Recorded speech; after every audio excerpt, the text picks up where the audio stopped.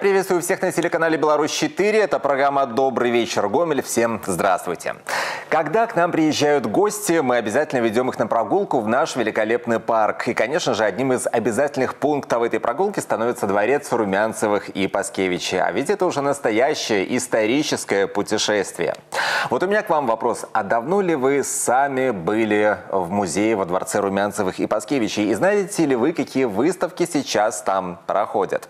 Этим добрым вечером мы постараемся взглянуть на дворцово-парковый ансамбль совершенно по другим, возможно, каким-то неожиданным ракурсом. Узнаем некоторые тайны, узнаем то, что происходит внутри, в стенах и выставочных залах дворца. Побываем на постоянно действующих экспозициях, узнаем кое-какой эксклюзив, ну и, конечно же, прогуляемся по Золотому кольцу э, нашей прекрасной Гомельщины. Вот э, такой план на этот добрый вечер. Буквально через мгновение продолжим. Оставайтесь с нами.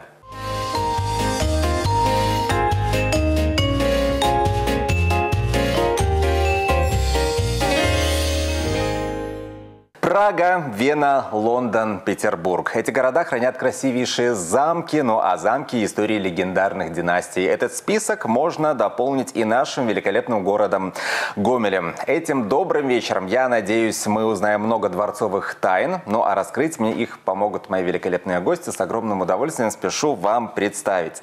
Заведующая отделом научно-просветительской и экскурсионной работы Виктория Заяц. Здравствуйте. Здравствуйте.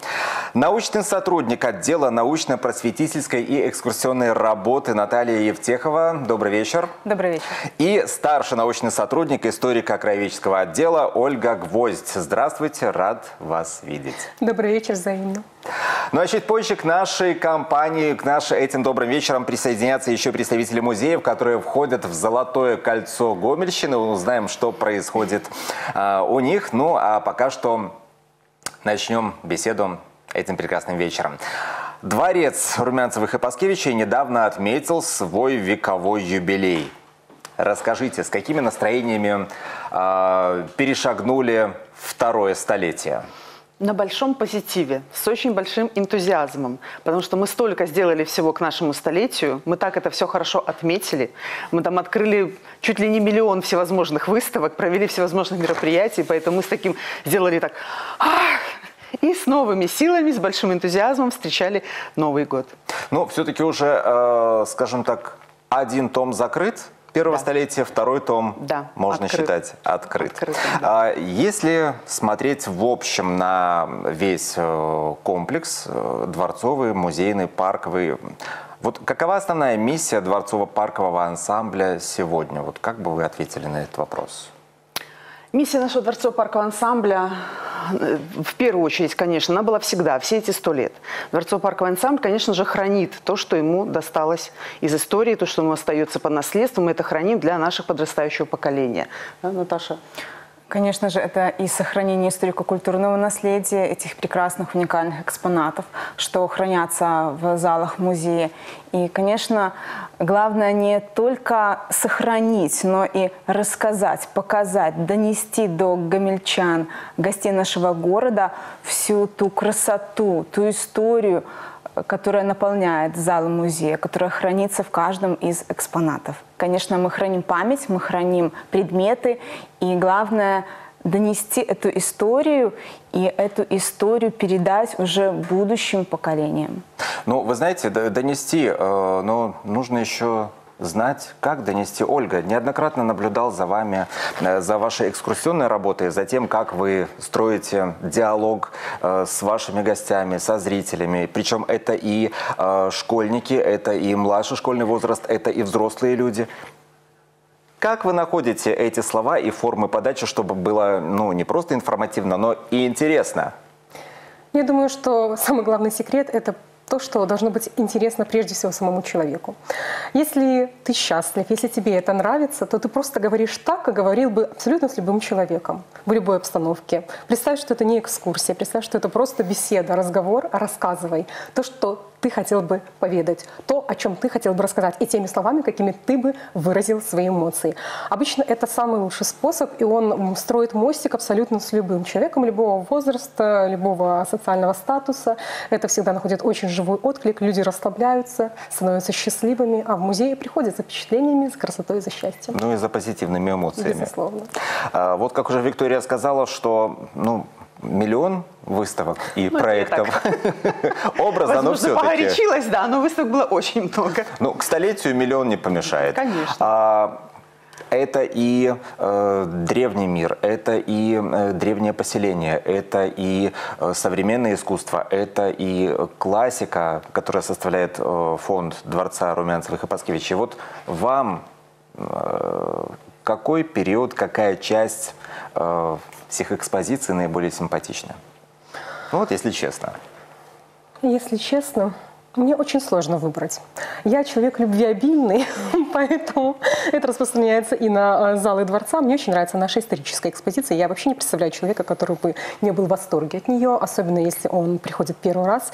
Я обожаю э, водить людей, которые впервые в нашем музее, потому что, как правило, особенно Много, если это кстати, гости из таких. э, других стран, и, например, которые повидали там Лондон и Париж, они думают, что это что-то такое маленькое, ну, уютненькое, ну что они тут увидят? И когда они заходят в наши залы, в аудиенц-зал, например, в колонный зал, выражение их лиц бесценно. Их просто нужно фиксировать, даже не фотографиями, а, возможно, живописными полотнами, потом сделать какую-нибудь отдельную выставку, посвященную их эмоциям, потому что они этого достойны. Слушайте, а вы не подозреваете, что прямо сейчас в эфире программы «Добрый вечер» рождается новый музейный проект под названием «Эмоции»? Почему бы и нет? Проекты всегда именно так рождаются. Вот В хорошей атмосфере падает зернышко идей, все, итог готов. Мы рассмотрим этот вариант. Вот все. Идея есть. Да, А, безусловно. Нынешний сезон, ну, не только для э, всего мира искусства в целом, но и для э, музейных работников, для дворца, в частности, выдался не очень простым, э, но в то же время и полезным, потому что вами опробованы и довольно успешно новые формы работы. Расскажите подробнее об этом. Да, конечно, мы, как и большинство учреждений культуры, мы тоже вышли в онлайн, естественно. А Люди перестали ходить в музеи было какое-то время, сейчас уже немножко мы, естественно, идем на подъем, уже у нас а, возвращаются наши постоянные посетители, поэтому какое-то время мы полностью были в интернете, скажем так, работали там, вот и это тоже возымело свой эффект.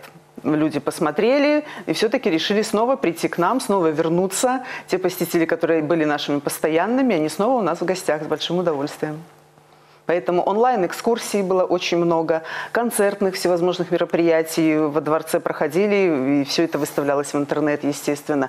Всевозможные, мы даже сделали такое, мы давно уже об этом мечтали, взять какой-нибудь экспонат, который где-то прячется далеко-далеко в фондах, его никто не видит, но, наконец, вот нам, можно сказать, даже в кавычках повезло, мы эти экспонаты достали и сделали о них целые такие огромные программы, подробно каждый посетитель мог зайти в наши соцсети и посмотреть об этом экспонате. Вот, допустим, наша Наталья, она настолько любит Грибоедова с детства, буквально там «Горе от ума» ее любимое произведение, и никто буквально не знал, что у нас есть в фондах рукописное «Горе от ума».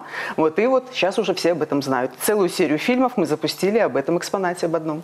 Наталья, а что больше всего интересует народ? Вот, в частности, когда э, вы выходили в онлайн, наверное, э, следили за тем, на какую вещь, на какой экспонат люди как реагируют? Больше, меньше или меньше просмотров? А, Очень интересно было, конечно, то, что появилось впервые. Вот, например, мы показали рукописный список «Горе от ума», как сказала Виктория. Это наш, мой лично авторский проект впервые. Мы показали эти рукописные строчки, мы рассказали о нем. Всегда он был у нас в фондах, в запасниках. Его на свет Божий никто еще не доставал, никто не рассказывал. Мы затронули о Грибоедове не только как о писателе. Ведь немногие знают, что у нас в фондах есть полотна, картины, на которых представлен сам Александр Грибоедов. О том, какой он вклад внес в развитие, в дипломатию отношений России и Ирана. О том, что он также родственник бывших владельцев Гомельского имения. Э, Также родственные связи присутствуют между Паскевичем и Грибоедовыми. Супруга знаменитого генерал-фельдмаршала Елизавета Алексеевна, она в девичестве Грибоедова, двоюродная сестра Александра Грибоедова. Какие интересные факты можно узнать в программе «Добрый вечер, Гомель». Мы и. Да, мы открыли также вот еще впервые а, наши грамоты. Нас ходят в экспозиции, все видят грамоты Паскевича, но никто не заглядывал внутрь грамотам. Вот, наконец, как говорится, всем повезло, мы их открыли, все почитали, посмотрели. Грамоты расписаны минералами, э, камнями. То есть там подпись императора Николая I, им сделанная лично. Поэтому ну, сделали очень много такого, чего раньше даже ну, не думали делать. Поэтому вот, как говорится, мне всегда казалось, что, например, грамоты, они никогда не раскроются, потому что, ну, может быть, в силу того, что они очень древние, Конечно. а они должны сохраниться. Конечно. Да, но мы осторожно, в перчатках, естественно, очень нежно. Вот, поэтому все вот увидели, можно прочитать практически каждую страницу этой грамоты сейчас, благодаря вот таким онлайн-экскурсиям. Ну вот это вот мы уже э, ушли в детали. Ну, кстати, онлайн-экскурсии э, сейчас э, продолжаются или... Э... Конечно. Кто следит за нашими соцсетями, они всегда видят постоянно какой-то объект мы открываем, и снова что-то выкладываем, какое-то видео. Там, ну, наверное, все видели, как мы танцуем. Это да. Я даже посмотрел, сколько лайков собрали эти видео, истории в ваших социальных сетях. Да, то есть, э, допустим, какая-то экспозиция стала меньше посещаться, например, Зимний сад, как-то вот посетители перестали посещать, тут же выложили онлайн, опять же, Зимний сад снова у нас бьет рекорды по посещению, опять даже башня обозрения, поэтому, естественно, это все очень стало помогать в такой ситуации. Но вот э, если э, говорить о полном э, комплексе дворцово-паркового ансамбля, что сегодня в него входит? Потому что нередко можно услышать, ну, дворцово-парковое – это только вот башня, основная часть и все. Да, мног, да, многие путаются, да. Там, здравствуйте, я звоню дворцово-парковый ансамбль. А что у вас есть? Дворцово-парковый ансамбль – это территория 45 гектар. В первую очередь, конечно, это наш дворец Румянцев-Паскевичей, понятно. Там, где находятся наши фонды, это вся наша красота. А это здание Зимнего сада а, часть сахарного завода, которая сохранилась до наших дней. Там до сих пор, вот опять же, такой, тоже не все знают, что до сих пор растут две пальмы, посаженные еще в 1888 году. Вы сказали пальмы? Пальмы я сказала, да. Как они я переживают зиму? Я не ошиблась, это пальмы, прекрасно да, поэтому то есть, прекрасно переживают зиму, как и все остальные растения, которые там находятся. Вот тоже наша изюминка, тоже всегда удивляются гости, даже тот же Санкт-Петербург, всегда с открытыми глазами, как у вас такое сохранилось. Ну и бывшая труба сахарного завода рядышком, это башня обозрения, конечно же, с тех времен также уцелела. Если мы пойдем в другую сторону, у нас сохранился а, часовня-усыпальница, прекрасный комплекс, где захоронены наши владельцы, семья Паскевичей. Часовня также немножко, вот мы ее отреставрировали, также можно заглянуть, посмотреть внутрь, где были отпевания владельцев перед тем, как их захоронить. То есть это уже тоже открыто для обозрения. А, то есть, ну вот комплекс огромный, комплекс большой, можно потратить целый день. Если подробно с экскурсоводом слушать, ходить, то это вот целый день идет, чтобы посетить все наши объекты. А, сколько э, человек побывала в музее в среднем за год. Не вели такие подсчеты? Конечно, мы ведем. Нас отчеты мы делаем каждый месяц, естественно. Ну вот, допустим, за прошлый год 338 тысяч, там чуть больше, 342 нас посетило. В этом году, конечно, идет вот из-за всех этих ситуаций немножко спад. Но вот сейчас 160 тысяч уже посетителей у нас. Это чуть меньше, чем в прошлом году, конечно же. Мы не догоняем немножко прошлый год в связи с такой а ситуацией. А если приплюсовать менее... тех, кто смотрел вас онлайн?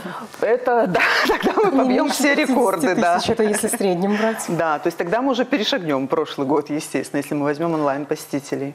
Кстати, ну, с другой стороны, онлайн и расширяет границы географические. Конечно, Вы э, конечно. следите за тем, из каких стран, конечно, из каких уголков планеты Земля заходят к вам да, Конечно, огонек, если они так. заходят с экскурсоводом, то, естественно, мы всегда себе помечаем, всегда, даже вот несмотря на вот такие всевозможные ситуации, уже вот во время эпидемии у нас были гости из Чехии, э, из Турции, из того же Египта, из Америки, из Франции, из Италии, хотя, кажется, вроде и закрытые границы были, но, тем не менее, вот люди, кажется, пробивались, и мы с большим удовольствием, что они посещали именно дворцово-парковый ансамбль. В последнее время вот даже были такие посетители, нам посоветовали в Минске угу. посетить Гомель и ваш дворец. То есть это просто, вот мы удивляемся, всегда очень рады таким посетителям, и, конечно, перед ними уже распахиваем все, что можем показать, всю нашу душу, всех наших лучших гиды, они всегда с удовольствием.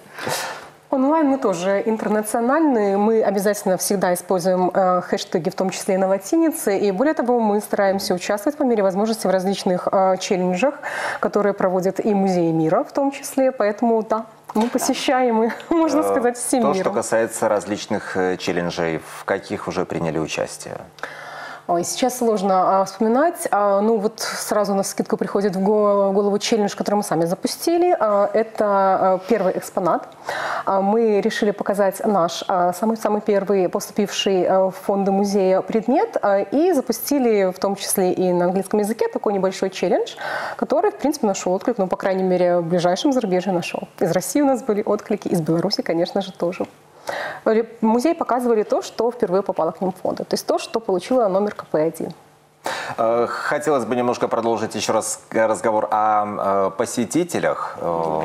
Что сегодня э, больше всего интересует людей, которые приходят э, на экскурсию, ту туристов, путешественников, когда они попадают в залы дворца? Ну, наверное же, ну, доводится слышать какие-то наиболее частые вопросы, какие-то ну, темы и по экспонатам, и по. Э, биографическим да. каким-то фактам э, В основном, конечно, все спрашивают, естественно, постоянные экспозиции. Выставки уже потом, после всего, как они насладились всей нашей красотой, то, естественно, э, любимые предметы есть в основном это спрашивают спрашивают, конечно, вещи семьи Паскевичей. В первую очередь личные вещи, то есть все просят, что генерал держал в руке, покажите нам.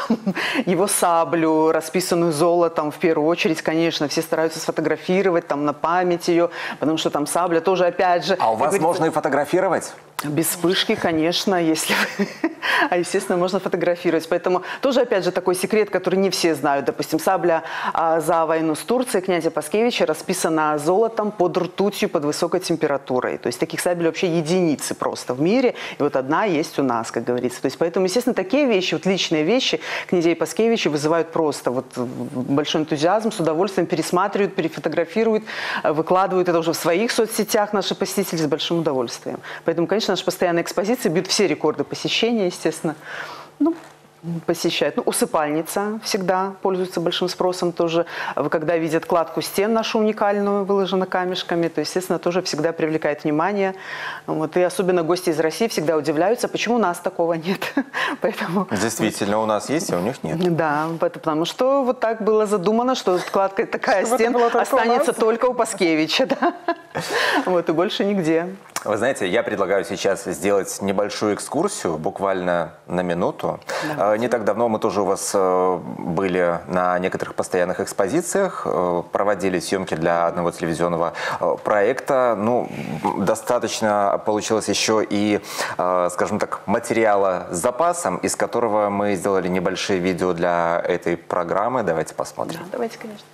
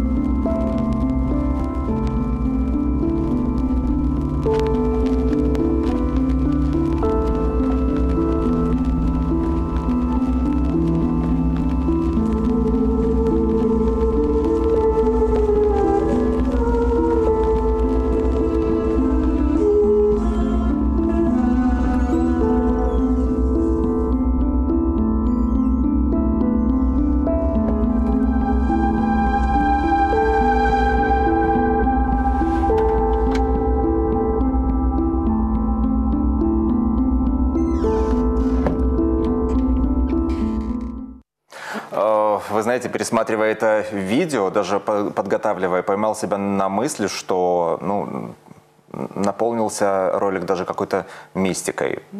Чувствуется немножко, да. Особенно, когда красная гостиная затемнена. Кстати, а то, что касается, ну, вот, э, мистического туризма, да. не было таких мыслей, там, тайны, легенды какие-то? Были. Дворцовые. Были. У нас даже НТВ снимала программу о том, как у нас призраки ходят по дворцу. Поэтому... Серьезно? Да, конечно. Все-таки это не городские легенды, не это городские. так и есть? Ну, есть люди, бывшие сотрудники, допустим, нашего дворца, какие-то посетители нашего дворца, которые говорят, что они действительно видели призрак, допустим, Ирины Ивановны, который вышел из зеркала, они реально видели, вот они говорят, что ну сто процентов, вот ни, ничего им не показалось, что действительно Ирина Ивановна ходит по дворцу, особенно вот если ближе к вечеру, когда немножко дворец затемняется. Либо многие утверждают, у меня даже до сих пор на экскурсиях говорят, что ну мы точно видели а, в усыпальнице, тоже вот пост э, Ирины Ивановны, а, как бы, потому что ее там не захоронили, вот якобы она все-таки приходит на то место, где должны были ее захоронить, что вот она хочет все-таки вернуться туда, в семейную усыпальницу. То есть, допустим, а, когда мы делали реставрацию, я еще попала, пришла на работу, когда еще дворец не был открыт, еще велась реставрация, то есть там у нас рабочие работали, и они всегда мне несколько раз, одни в разные совершенно люди, разных возрастов, они мне рассказывали, значит, такую, что а, они слышали сами лично, естественно, а, в колонном зале, когда немножко уже после лета, вот первые холода начинаются, дворец раньше топился каминами. Угу. И вот они слышали, что вот если закрыться в колонном зале, просто вот тихонечко посидеть, то слышишь шаги, вроде кто-то идет, и потом вот как бросают дрова. То есть слуги пошли топить камины. Вот утверждаю, что это слышали вот просто сто процентов а в колонном слышали? зале. Я лично сама нет. Единственное, что я слышала, а, мы раньше, у нас не было охраны, и мы, как говорится, по графику, мы дежурили во дворце вместо охраны сотрудники. Вот, и мы там, у нас есть такая комната, мы закрылись, как операторская мы ее называем, вот сидим, тишина, ну вот во дворце никого нет, но в дверь стучат. Вот, естественно, мы боялись выходить. Вот. Ну и те, кто люди там, ну, я сидела не одна, конечно, вот, и люди говорили, что ну это вот Ирина Ивановна пришла, может что-то к тебе какие-то проблемы, что-то ты там не так сказала где-то на экскурсии. Вот, поэтому, ну вот стуки, да, в дверь вот слышны были постоянно. Слушайте, ну это из разряда хотите верите, хотите... Это да. Вот да. как к этому относиться? Как к вот, легендам или вот все-таки в каждой сказке есть? Да, ну что-то все-таки есть. Даже смотрители нашего дворца часто вот любят рассказывать, что вот приходишь на работу, а какой-то экспонат стоит не на своем месте.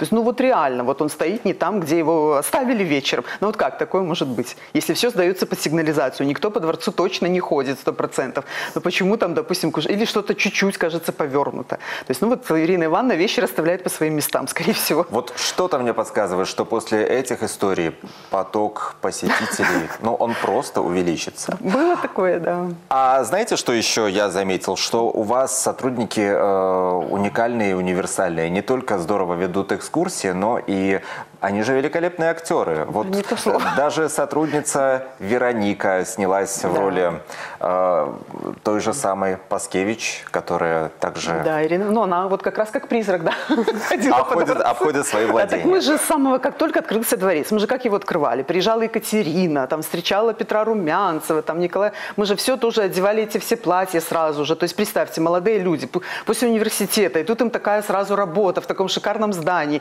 в этих всех костюмах, Поэтому, естественно, мы уже просто артисты. И каждая экскурсия ты выходишь как на сцену. Вот просто. Э, как-то я вот была на курсах повышения квалификации, нам преподаватель сказал, что лучший гид, лучший просто, вот он может считать себя лучшим, если у него в группе его экскурсанты начинают либо плакать, либо смеяться. То есть этот гид считается лучшим. У нас практически каждый сотрудник возле портрета Ирины Ивановны может, может выбить слезу, возле там иконы мастера Фаберже у нас всегда люди рыдают просто вот, в той же усыпальнице. Вот, поэтому, естественно, мы уже считаем себя артистами. И такая роль, вот там Ирины Ивановны, у нас Наталья, она у нас всегда на, обслуживает молодоженов в образе Елизаветы Алексеевны. То есть поэтому... Очень приятно. Да, да, поэтому это не впервые. А, Наталья, а вот Наверняка э, в музее существует такое понятие, например, как э, хит среди всех экспозиций и выставок. Или хит, экспонат хит. Можно об этом говорить? Ну, вот, например, ну, вот применяя к музейному искусству и ремеслу. Один из хитов мы уже с вами увидели, где Вероника играла главную роль. Это «Красная гостиная» дворца, главный из парадных залов центральной части. Она яркая, она роскошная, с дорогой мебелью различных стилей и эпох, коллекцией скульптуры, фарфором, дорого, дорогой коллекцией часов. Все mm это создает красоту. Кроме того, белая гостиная очень популярна среди любителей музыки. Это наш камерный зал, наш музыкальный салон, и кроме того, это еще и театральная сцена нашего города башня дворца. Там своя особая атмосфера. Там все говорит о подвигах, о воинской славе владельцев дворца, где можно увидеть на полотнах Грибоедова и Пушкина, э, где можно познакомиться с уникальным наградным оружием XIX века, императорскими грамотами, увидеть книгу с, под, с подписью последнего русского царя, Э, кроме того, насладиться тем изяществом, красотой, тонкостью мессенского фарфора. Все это вот действительно наши хиты, за что нас любят, что хотят увидеть. И мы стараемся это донести, показать, рассказать. Ну и, как мы уже узнали, очень многое хранится в фондах музея. Надеюсь, что не только в онлайне это можно будет увидеть, но и да. в скором будущем это все будет представлено, ну, скажем мы так. Мы стараемся. У нас целый второй Почему этаж, это выставочные залы. У нас 8, на втором этаже 8 выставочных залов, и каждый зал, он ну, месяц, ну два максимум, и выставка снова меняется. И вот Ольга Гвоздь, она как раз вот представляет этот выставочный отдел знаменитый, который там постоянно все шуршат на втором этаже, как мы всегда говорим между собой, и что-то там все меняют. Естественно, они достают это все из фондов, там картины, сейчас вот они шикарную выставку Евдокии Евдокиму Романову посвятили. Да. То есть, естественно, потихонечку зрители видят то, что прячем мы в фондах. А ведь э, дворец Румянцевых и Паскевичей – это не только выставочные залы и экспозиции. Друзья, оставайтесь только. Э, на нашем канале, оставайтесь этим добрым вечером с нами. И далее вы узнаете, куда же можно отправиться, в какие путешествия вместе с э, дворцом Румянцевых и Паскевичей. Об этом и даже чуть больше буквально через несколько мгновений. Не переключайтесь.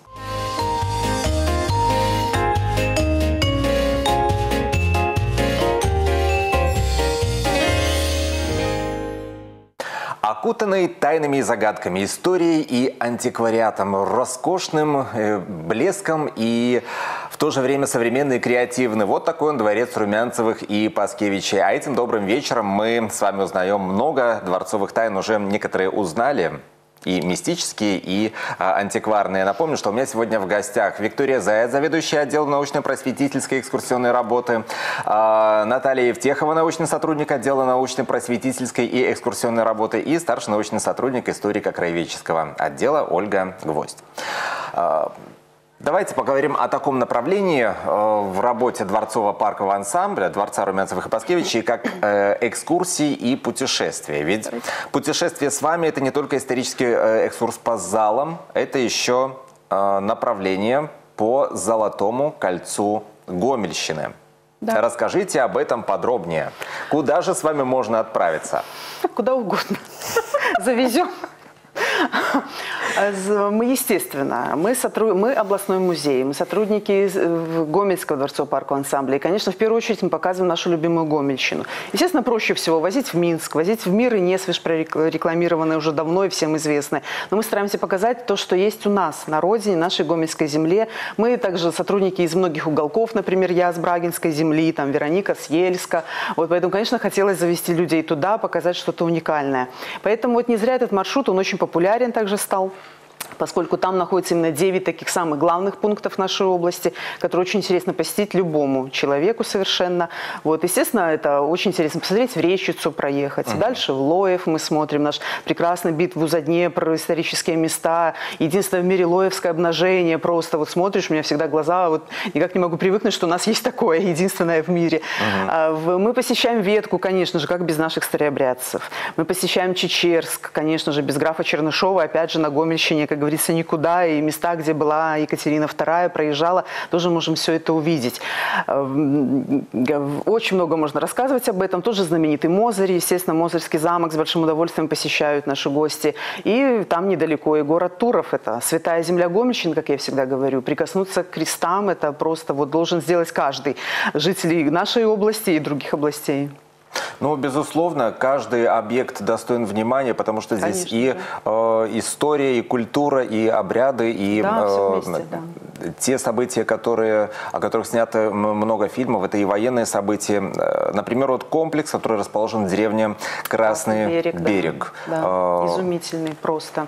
Сам дворец прекрасный, 19 век, вторая половина, Козел Поклевских, либо Готовского, из первого владельца будем брать. Ну и, конечно, это современный мемориал, без него, естественно, сейчас никуда. Просто детям посвящен жертвам Великой Отечественной войны, конечно же, с удовольствием гости посещают и в разные впечатления остаются от таких восхищений от дворца, естественно, и до таких очень переживаний э, за наших ребят. Кстати, с нами на связи э, Мария Ткачева, старший научный сотрудник филиала «Красный да, берег». Экскурсовод, коллега. Государственное учреждение культуры Жлобинский историко-краеведческий музей. Мария Дмитриевна, здравствуйте, добрый вам вечер. Добрый-добрый вечер всем. Добрый. Это программа «Добрый вечер, Гомель». Рады вас слышать. Расскажите, а о чем сегодня можно узнать в стенах Жлобинского музея? Очень приятно, что вы помните о Красном береге и знаете об этом удивительном населенном пункте.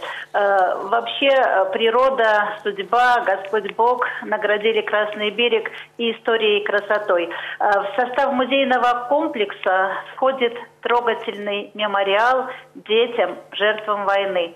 В год 75-летия Великой Победы следует вспомнить тех мальчишек и девчонок военных лет, на чью долю выпали тяжелейшие испытания. Они погибали под бомбежками, от голода, холода, в концлагерях.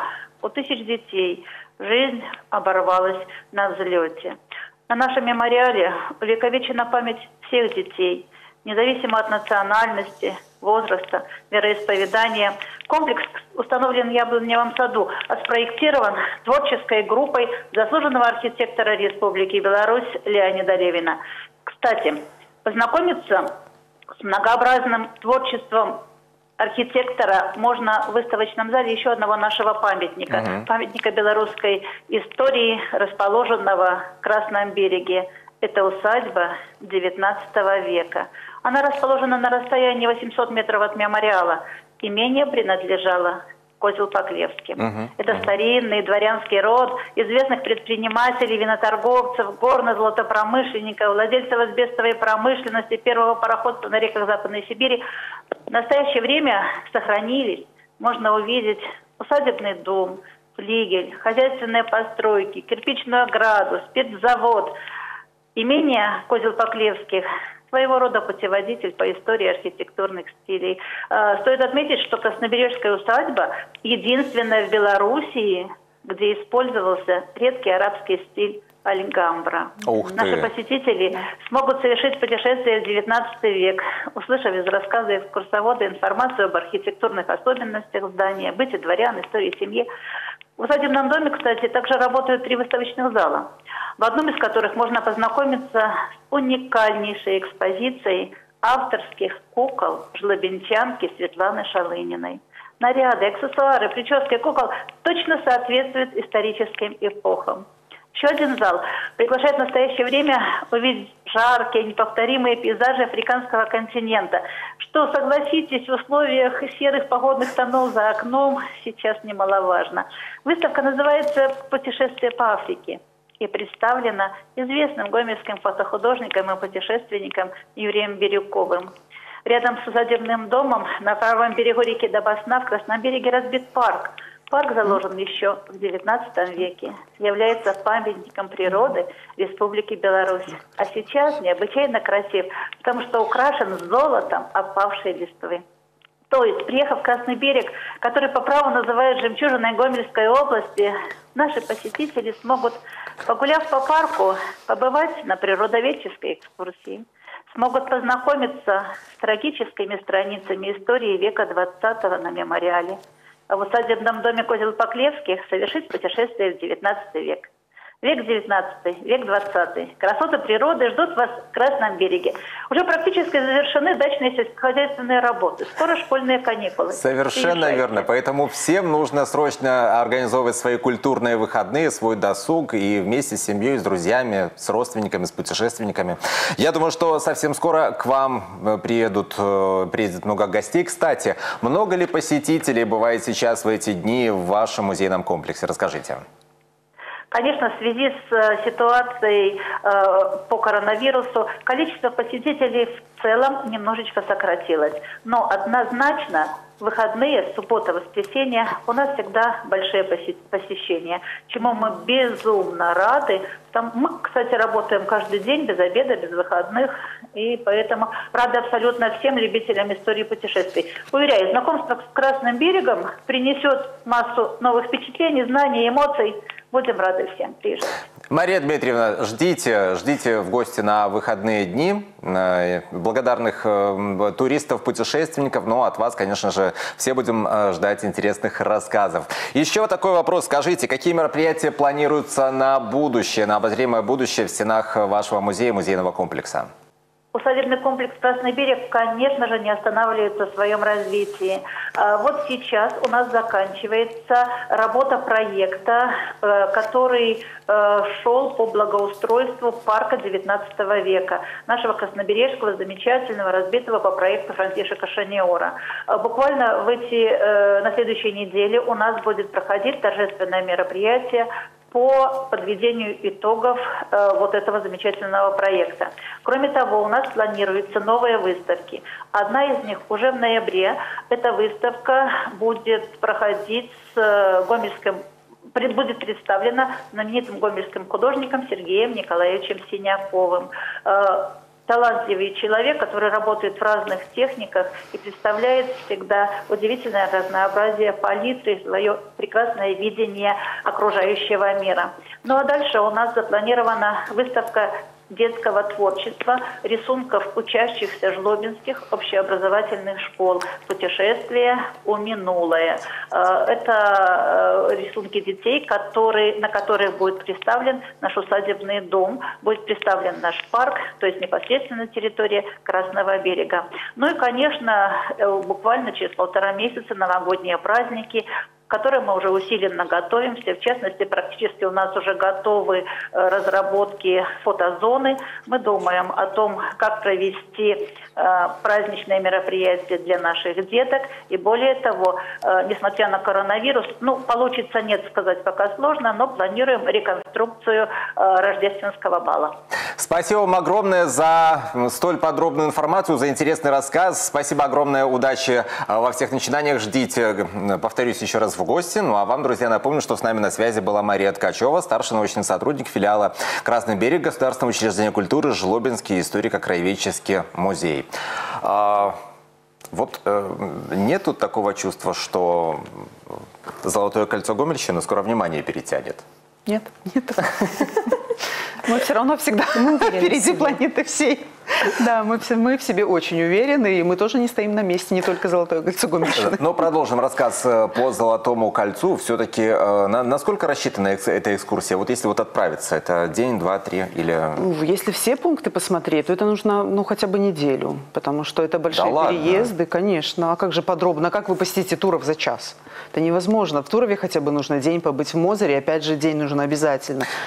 Сколько сегодня пунктов включено? Девять. Девять. Официально. А, Это постоянно действующие или есть как Постоянно пункты, которые добавляются? Мы стараемся. Конечно, мы стараемся. Если что-то новое открывается, с удовольствием э, стараемся, чтобы это тоже внесли в Золотое кольцо Гомельщины. Э, В яркий пример. Совсем недавно все наслышаны, смотрели все новости. Мы открыли мемориальный комплекс «Алла», открылся недалеко от Светлогорска. Поэтому, конечно, обязательно, ну, как ехать в те места, допустим, даже в тот же Жлобин. Сейчас вот очень много туристов, я знаю, едут в Жлобин и дальше в Светлогорск на Аллу и на мемориал Баг- Багратион. Э, Кстати, с нами на связи э, Ирина Валентиновна Заяц, директор Светлогорского историко-краеведческого музея. Ирина Валентиновна, здравствуйте, добрый вечер. Добрый вечер, Александр и гости в студии. Расскажите, как проходит вечер в Светлогорске, какая у вас погода? Вы знаете, дождливая, немножечко дождливая. Ну, ничего страшного. Говорят, у природы нет плохой погоды. Э, недавно комплекс Алла был включен в Золотое кольцо Гомельщины. Насколько это ответственно, волнительно, почетно для вас? Расскажите.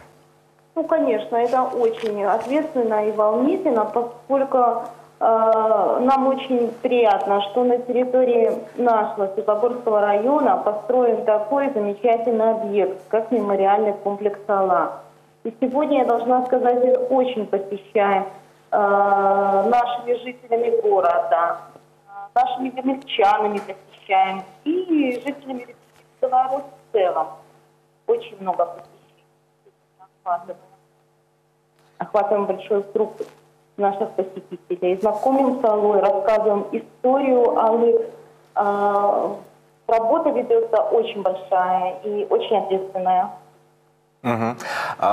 Скажите, а вообще, что сегодня происходит в музейном э, комплексе с э, города Светлогорска? О чем можно узнать, э, какую историю, современность, попадая в стены вашего музея? А, попадая в стены нашего музея, мы узнаем историю Светлогорского района, о том, как строился город Светлогорск, как жили его э, жители в советские годы. Мы узнаем о том, о тех достопримечательностях, которые есть у нас в городе и районе, а также мы узнаем о тех фондовых предметах и коллекциях, выставленных в наших экспозициях. Спасибо огромное, что были с нами. Удачи во всех начинаниях. Посетителей вам как можно побольше. Ну и, конечно же, надеюсь, что когда-нибудь и я к вам доберусь в музей.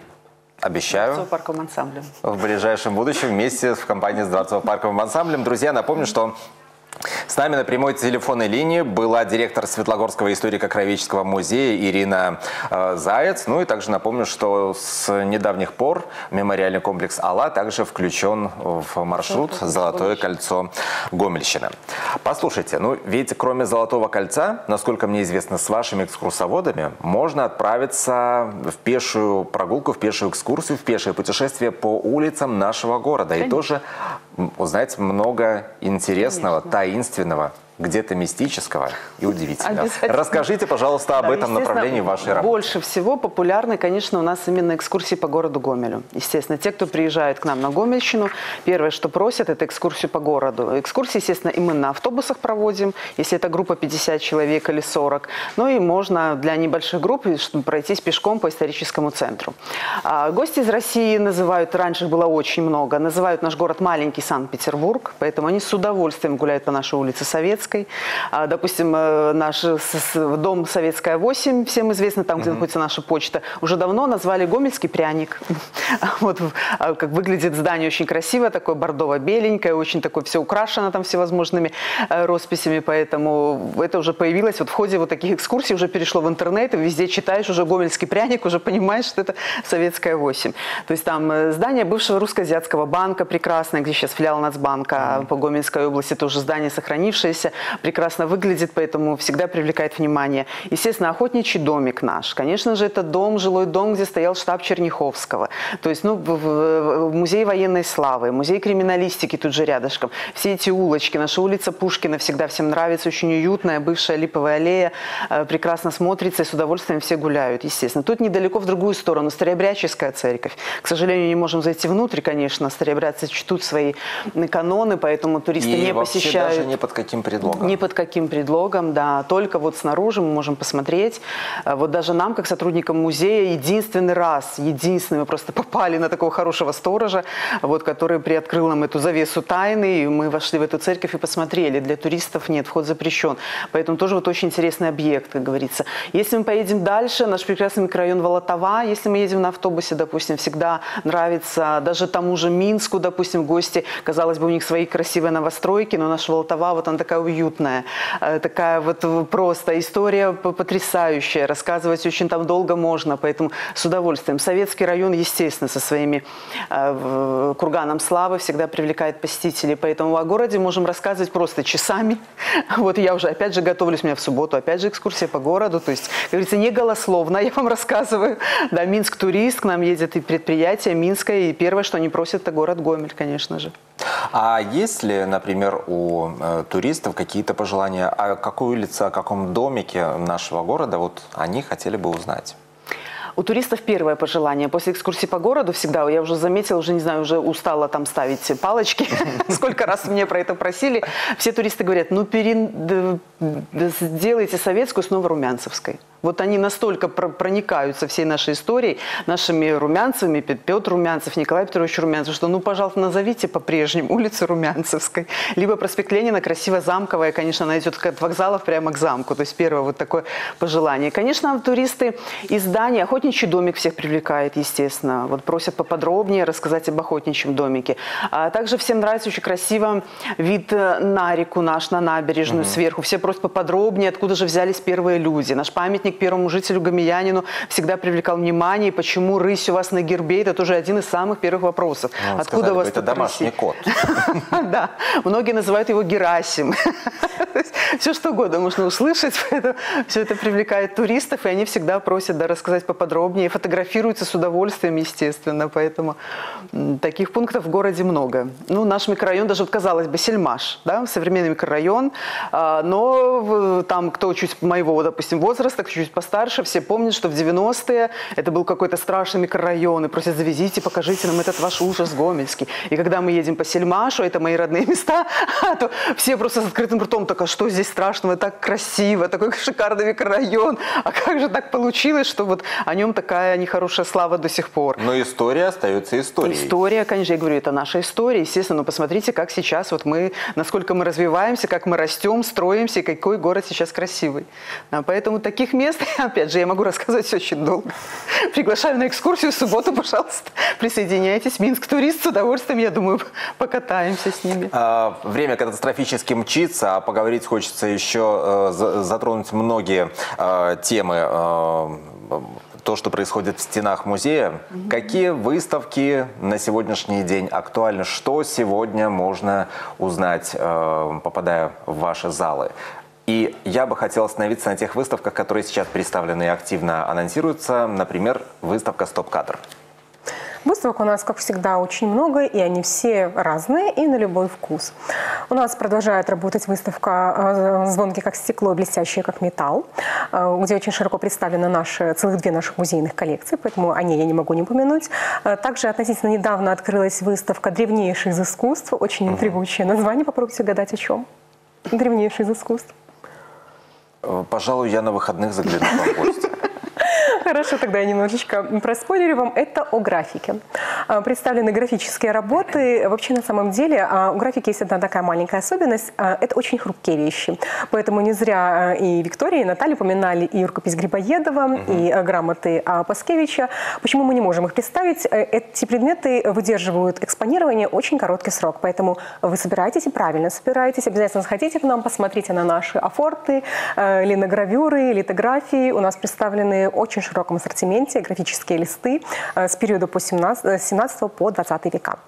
А, выставка стоп-кадра, о которой э, вы начали говорить, действительно у нас открылась относительно недавно. Эта выставка представляет работы известного и очень востребованного в настоящее время гомельского художника Юрия Платонова. Выставка замечательная, она экспонируется в небольшом зале, который носит название «Рыцарский». Он такой своеобразный по атмосфере, там немножко всегда царит полумрак, такая легкая загадочность. И эта выставка выставка, наверное, первая на моей памяти, которая настолько э, ярко оживила этот зал. Э, эти работы, которые представляют различные уголочки Беларуси, деревеньки, очень золотые, желтые, оранжевые, красные, яркие-яркие. Вот ее хорошо открывали ранней осенью, она сама такая ранняя осенняя, в ней очень много самых теплых тонов палитры, которые только можете представить. Она создает замечательное настроение. Э, художник сам на открытии тоже подарил нам замечательное настроение. Так что я думаю, что все пришедшие даже потому что сейчас погода уже немножко испортилась, вспомнят совсем недавно минувшие теплые денечки. Ну и зарядиться позитивом от ярких конечно, красок положительных Конечно, эмоций. оранжевый, желтый – это самые сочные цвета спектра. Они не могут подарить а, счастье. Есть еще одна выставка, которая также открылась недавно, э, на которой представлены различные вышивки, какие-то колоритные вещи из э, сельских, деревенских домиков. Расскажите про это. А, выставка называется «По следам Евдокима Романова». Э, это действительно наш один из последних проектов. И как-то так получилось, что один из самых любимых, ну, наше дело ей занимался, как я могу ее не любить. Вот. А выставка действительно очень богатая, а, у нее интересная концепция. Мы назвали ее «По следам Евдокима Романова», потому что мы действительно идем по его следам. А если вдруг имя Евдокима Романова кому-то неизвестно, то очень советую познакомиться с этой личностью. Уроженец Новобелицы, уроженец нашего города Гомеля. Человек, как бы сейчас сказали, мультизадачный, весьма мультизадачный, фольклорист, археолог, этнограф, языковед. В общем, у него, если так перебрать все специальности, наверное, наберется под десяток.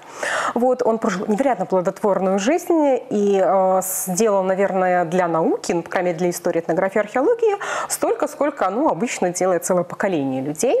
А, выдающийся абсолютно а, господин. И а, мы решили пройти по его следам в прямом переносном смысле слова. В прямом смысле слова мы представляем его этнографическое наследие, в частности, фольклорный его mm-hmm. аспект. Знаменитое произведение Дакима Романова – это белорусский сборник. Девять томов, девять выпусков вышло при его жизни. Туда включено более 10 тысяч, только вдумайтесь, фольклорных текстов, которые он собирал на территории трех тогдашних белорусских губерний. Вот, материал богатейший. Да, Сколько же текстов тысяч. собирал он в неделю? Мы не проводили, а, вы знаете, такую классификацию, тем более, что это очень сложно делать. Он сам писал, что а, урожайность зависит от многих факторов. Вот, но даже если читать просто предисловие к сборнику, я, честно говорю, вот не пожалеете, он так колоритно описывает. И как он там путешествовал по а, дорогам, по которым мы возницы сами ехали первый раз, бедные, как им было страшно. И как он встречался с местными аборигенами, жителями. И как он, на какие хитрости он шел, чтобы они раскрылись перед ним, рассказали свои вот сокровенные сказки, поделились заговорами, обрядами. Вообще это целый пласт а, культуры, уникальный совершенно.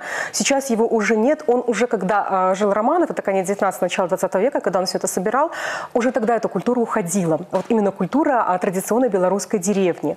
Потому что если почитать, то и белорусский язык, который там, и само содержание этих заговоров, это просто да, что-то удивительное. Стихи, да. песни. Вот, как в них сочетается язычество и христианство, как в них вплетаются персонажи, которые, казалось бы, совершенно чужды этой культуре. Кстати, тот же самый э, Петр Румянцев Петр там Румянцев, тоже фигурирует, да. да. Вот. И э, все это переплетается в такой удивительную, я бы сказала, такой удивительный народный узор. Этим невозможно не восхищаться. Вот. А что касается вышивок и прочих предметов быта, традиционного быта, это уже вторая дорожка. То есть мы переплели два пути, два маршрута географических, угу. которые проходили в разные временные отрезки. То есть это своеобразное еще и путешествие между двумя э, временными эпохами. Дело в том, что сотрудники музея э, в конце уже 20 века шли, ну не всегда прям совсем-совсем по тем же самым пунктам, но по многим из тех пунктов, которые посетил сам Романов. Только Романов собирал духовное наследие, он фиксировал заговоры, песни, сказки и так далее, а мы материалисты, мы собирали экспонаты. То, мы собирали, да, рушники, рубахи, э, кабаты, платки, э, в общем, наметки, все, что могли. Все, что могли. Вот как Романов старался, так и мы старались. Тоже у нас свой набор хитростей был, конечно же. Вот. И поэтому каждый населенный пункт, у нас их более двух десятков на высоке помещается в одном зале, он представлен э, этнографией, которая презентует местные особенности, э, скажем так, отличительные черты, они были в каждом населенном пункте, и презентует фольклор, то есть и материальная, и духовная культура, и два путешествия по двум временным эпохам в одном зале. Все остальное пусть зрители придут и узнают. А я хочу... Я сказала крошечную часть того, что я могу рассказать в этой выставке, так что приходите проверить. А ведь не за горами еще и осенние каникулы, которые да. ждут все школьники. И да, я знаю, что э, дворцово-парковый ансамбль традиционно также готовится к встрече своих маленьких посетителей. Да, Чем конечно, будете удивлять на каникулах? Мы решили в этом году нового ничего не придумывать вот в связи с такими ситуациями, скажем так. Поэтому все новое, хорошо забытое, старое. Поэтому на этих каникулах мы уже принимаем заявки, они уже у нас есть. На наше, то, что нравится всем младшим классам, звонят преподаватели, это посвящение в юное гомельчане. Потрясающий обряд с нашими, опять же, народными традициями, с нашим караваем, хлеб, соль. Все это рассказываем записываем ребятам, вручаем грамоты о том, что они стали настоящими гомельчанами, любителями своего города Гомель. Они произносят торжественно клятву в нашем дворце, они клянутся, что они будут оберегать наш город Гомель и хранить для подрастающих поколений. Поэтому уже заявки на каникулы есть, уже школы с удовольствием а, к нам записываются. Ну и, естественно, наш знаменитый музейный большой проект, большой музей для любознательных друзей. То есть много занятий на разные совершенно темы. Ребята приходят, занимаются, либо они археологи, либо они там немножко экскурсоводы, либо они реставраторы, все что угодно можно потрогать. Наконец-то мы им разрешаем все потрогать, самим посмотреть, Ну, это пощипать. удивительно. Не только фотографировать, но и трогать, и смотреть, и, трогать щипать можно. Можно у нас. Великолепный музей. На проекте, да. И посмотреть мультик о том, как нужно себя вести в музее, тоже можно ребятам на нашем проекте. Великолепно. У нас остается несколько минут, но, друзья, у нас есть еще несколько тем, которые очень хочется затронуть. И буквально через несколько мгновений мы с вами узнаем о том, что у Дворцово-паркового ансамбля есть своя страница э, в Инстаграм. И, ну, наверное, стоит немножко рассказать о той команде, которая готовит все эти креативные проекты. Через мгновение продолжим наш разговор. Не переключайтесь.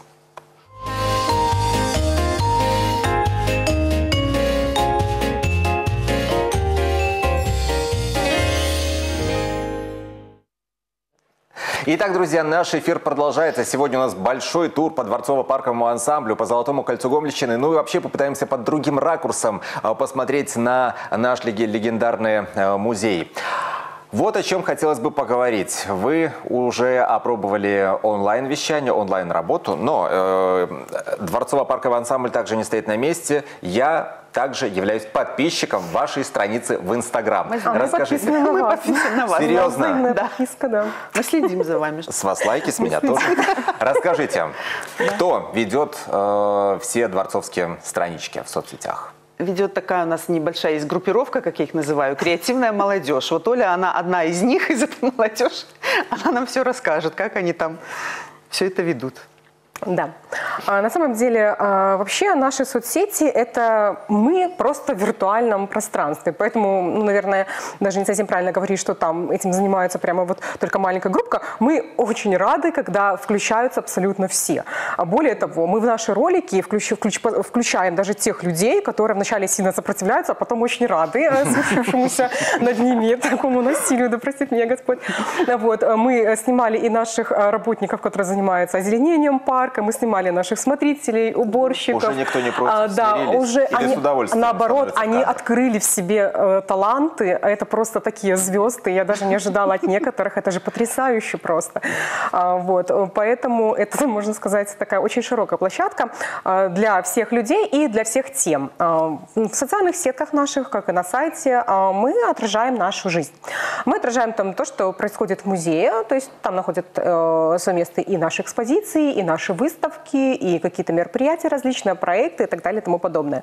А там живут наши фонды. Э, Это действительно замечательная возможность показать те предметы, которые еще не добрались до выставочных залов. Со временем не все, конечно, доберутся, но пока дойдет их очередь. А так у них, можно сказать, такой карт-бланш, они проскакивают вперед немножко вне очереди. Вот. А Также э, социальные сетки мы используем для общения. Почему бы и нет? А, Фидбэк всегда приятен, будь он в виде лайков или в виде комментариев, почему бы и нет.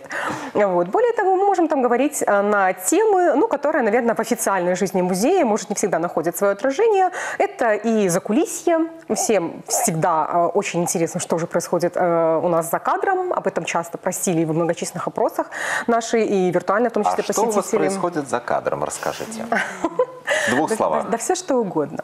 А Мы наряжаемся, а, не знаю, мы сами создаем костюмы. Если бы кто-нибудь видел, а, из чего на самом деле создаются многие наши шикарные образы, он бы, наверное, упал от смеха. Вот. а, Мы даже как-нибудь, наверное, отважимся и выложим, даже по тем же ожившим картинам, из чего а, у нас а, собирались, собственно говоря, эти великие полотна, вернее, наши их интерпретации. Вот. То, как мы монтируем, это тоже очень весело и интересно. Ну, э, назовем, вот, например, Говорили про экспонаты, сколько у нас в фондах есть и сколько показывается на выставке. Но вот наши среднестатистические выставки э, презентуют, поднимают сразу с фондов, а, не меньше, как правило, 500 единиц. Вот. А, Но это то, что доходит. Цифра Отби-. Отбирается и поднимается, на самом деле, намного больше. Вот. То, как мы их ищем, э, как мы их потом оформляем, и, собственно говоря, как мы хитрим-мудрим для того, чтобы придумать э, какие-нибудь новые образы для даже тех же самых традиционных вещей. То есть как рубахи должны повиснуть так, чтобы напоминать эм, парящих ангелов, например. Вот. Как собрать э, солнце э, из рушников. Э, Ну, все это на самом деле достойно отдельных видео. Я думаю, что это направление мы также будем развивать. Отлично. Возвращаясь к началу э, этого доброго вечера, я не зря начал с того, что буквально недавно вы э, перешли, э, разменяли вторую сотню. Да. Вот. И если у меня верная информация, можно один секрет еще открою, который я знаю. Музей сейчас готовит еще один проект «100 лет плюс один. Больше деталей и подробностей про этот проект у меня нету. Хотелось бы сегодня получить от вас эксклюзив. Да, что вот же уже. это такое? Это, да, вот уже в ноябре, 7 ноября, всех приглашаем к нам на праздник, нам 101 год будет отмечать наш музей.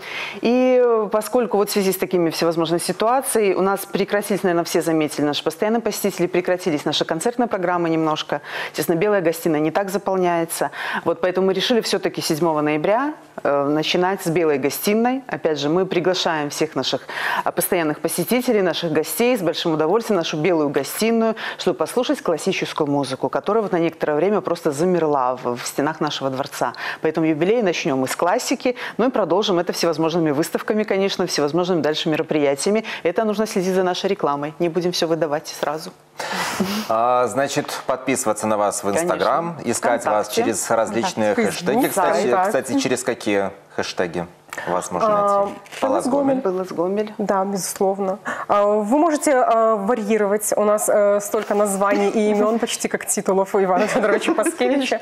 Дворец Румянцевых и Паскевичей, дворец Румянцевых подписывайтесь на мой инстаграм. Через мой инстаграм можете найти инстаграм Дворца Румянцевых и. Паскевичей. Я хочу сказать вам гро- огромное спасибо, за, что за этот вечер мы не только совершили э, небольшую экскурсию по Золотому кольцу Гомельщины. Например, я для себя узнал очень много мистических, интересных, невероятных историй. Вы знаете, э, я практически уже э, определился со своими планами на ближайший уикенд и, наверное, э, подговорю своих друзей поступить также, заглянуть в гости к вам. Э, Хочется сказать вам спасибо за ту работу, которую вы делаете. Повторюсь еще раз, ждите в гости. Спасибо огромное за эти интересные истории. Друзья, вам же хочу напомнить, что это была программа «Добрый вечер» Гомель на телеканале «Беларусь-4». Завтра будет новый вечер. Безусловно, он будет добрый. Ну, а на сегодня все. Удачи вам. Пока.